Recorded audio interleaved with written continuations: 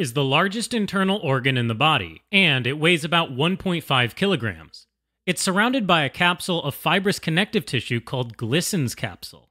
If we look at the liver from an inferior view, which is a view from the bottom of the liver, we can see that it is divided into a large left lobe and right lobe, as well as two smaller lobes called the quadrate and caudate lobes.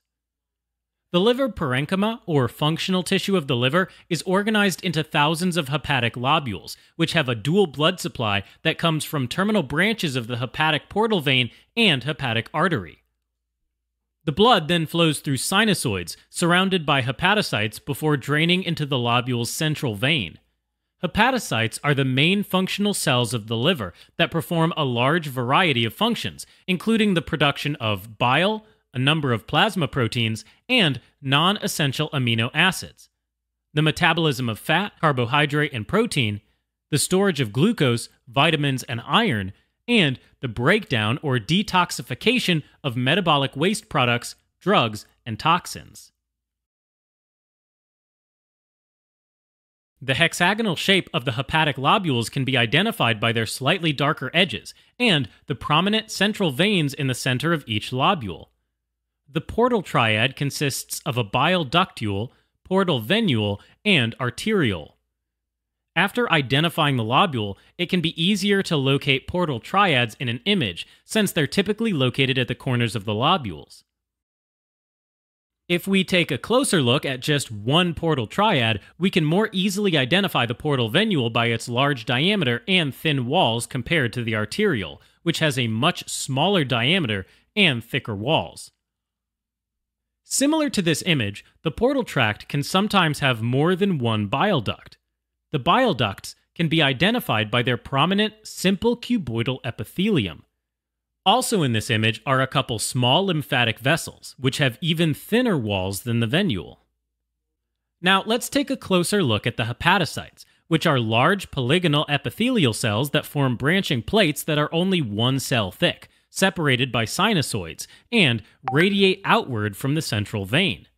The sinusoids carry blood from the hepatic arteriole and portal venule to the central vein, while the bile canaliculi or capillaries carry the bile produced by hepatocytes in the opposite direction in order to drain into the bile ductules. The hepatocyte cytoplasm is very eosinophilic, or pink, because they contain a lot of mitochondria. Many of the cells in this image also have fine brown granules within the hepatocytes, called lipofuscin.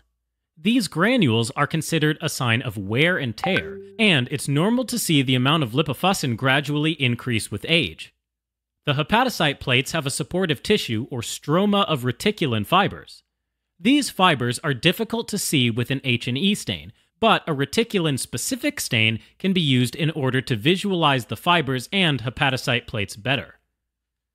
A reticulin stain is actually used to help diagnose hepatocellular carcinoma, since a liver with plates that are more than three cells thick is diagnostic, which we can see in this image. Alright, as a quick recap the liver is organized into thousands of hepatic lobules. At lower magnification, the lobules can be identified by their prominent central vein, as well as a slightly pale central portion of the lobule compared to the edges of the lobules. The portal triads are found at the corners of the lobules. Each portal triad contains a portal venule, hepatic arteriole, and bile duct. The venule can be identified by its large lumen and thin wall. The arteriole will have a thicker wall, but a much smaller diameter. And the bile duct can be identified by its simple cuboidal epithelium.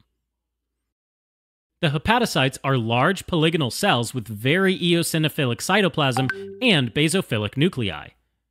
The hepatocytes are organized into branching hepatocyte plates of cells that radiate out from the central vein. And lipofuscin is a sign of wear and tear seen within hepatocytes as fine brown granules.